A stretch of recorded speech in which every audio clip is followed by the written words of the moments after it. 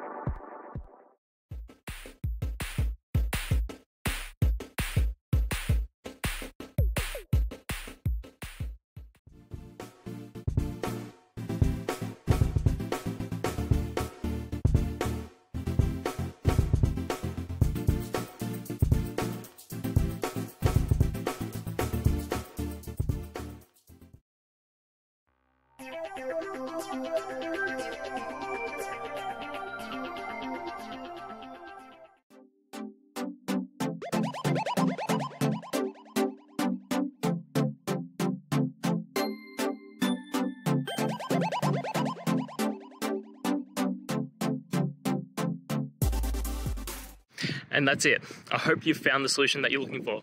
If you did, please hit subscribe. I'd really appreciate it. And until the next time that you need technical help, I hope you have a good one. Cheers.